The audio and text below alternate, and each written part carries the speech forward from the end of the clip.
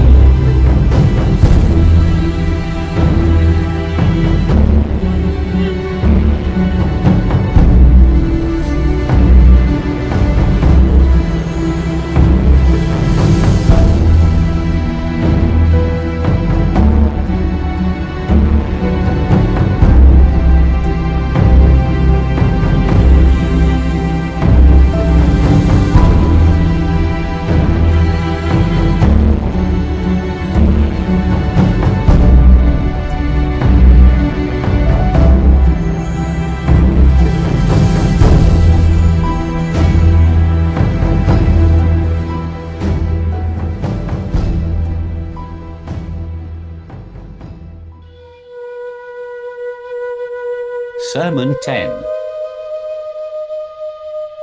About Talha and Az-Zubayr.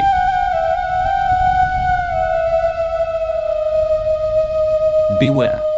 Satan has collected his group and assembled his horsemen and foot soldiers. Surely, with me is my sagacity, I have neither deceived myself nor ever been deceived. By God, I shall fill to the brim for them a cistern, from which I alone withdraw water, they can neither turn away from it nor return to it.